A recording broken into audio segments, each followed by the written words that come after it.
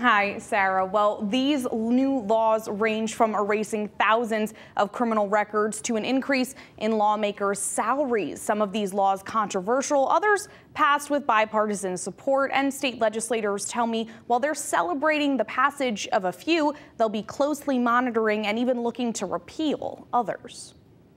Many of us are going to be watching to see how these things play out. These things, new state laws slated for a January 1st start date. While legislators say some are hits, they think others might be misses. It's not going to be paid by the motor carriers. It's not going to be paid by the truck drivers. State Representative Tom Delnicki is talking about the highway use fee, also called the truck tax, which will be imposed on certain heavy carriers up to 17 and a half cents per mile. The measure is expected to generate about $90 million per year for transportation improvements in the state. And Democrats, like State Representative Matt Blumenthal, say this revenue is needed. All the states around us are already drawing from these trucks. Connecticut is just allowing them to get through with uh, essentially uh, less fee at this point. But opponents argue it's a hidden cost for residents and say they're considering introducing bills in the upcoming legislative session to repeal it.